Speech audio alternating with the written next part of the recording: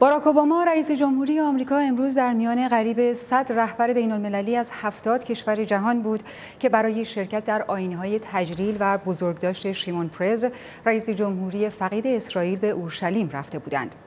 حضور بیل کلینتون رئیس جمهوری پیشین آمریکا در کنار بنیامین نتانیاهو نخست وزیر اسرائیل یادآور بخشی از دهها سال تلاش برای برقراری صلحی با دوام و برخوردار از ایمنی و حاکمیت میان دو ملت اسرائیلی و فلسطینی بود در منطقه خاورمیانه جزئیات بیشتر در گزارش همکارم سامان پژوهان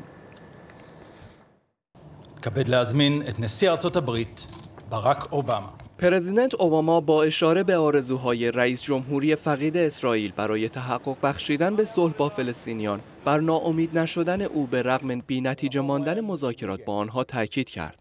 Even in the face of terrorist attacks, even after repeated disappointments at the negotiation table.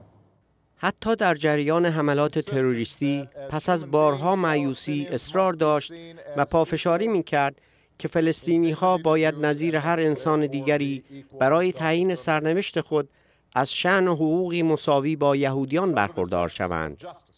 بیل کلینتون که در آخرین سالهای دوران ریاست جمهوریش یک بار دیگر تلاش کرده بود با آوردن اهود باراک نخست وزیر وقت اسرائیل و یاسر عرفات رهبر وقت تشکیلات خودگردان فلسطینی به آمریکا و بردن هر دو به ویلایی دور از رسانه ها و کارشکنی مخالفان صلح میان اسرائیل و فلسطینیان زمینه را برای چنین صلحی فراهم کند در مراسم امروز یکی از دلایل مورد استناد منتقدان رئیس جمهوری فقید اسرائیل را قویا رد کرد.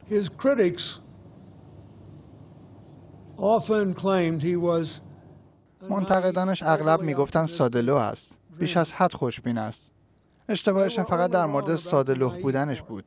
او کاملا می‌دانست با خوشبینی به قول آنها بیش از حد می‌خواهد به کجا برسد پرزیدنت اوباما نیز نظیر پرزیدنت کلینتون نظر منتقدان را در مورد سادلوه بودن آقای پرز رد کرد و تجربیات او را مهمترین دلیل برای خوشبینی هایش دانست. But he understood from hard-earned experience that true security comes through making peace with your neighbors. من باور نمی کنم که او سادلوه بود. او از تجربیاتی که طی سالها و در نتیجه تلاش و کوشش های بسیار کسب کرده بود می‌دانست که امنیت واقعی از طریق برقراری صلح با همسایگان فراهم می شود.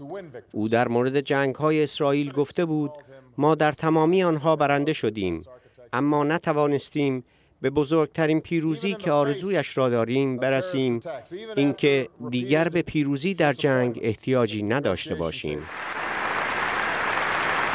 شیمون پرز که همراه با فلسطینیان در دهه 1990 جایزه صلح نوبل را گرفت امروز در کنار دو نخست وزیر فقید دیگر اسرائیل در گورستان ملی آن کشور به خاک سپرده شد.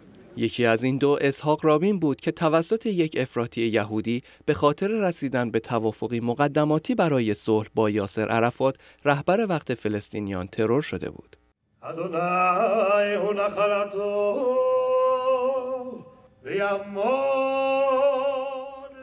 اشکان سلطانی صدای آمریکا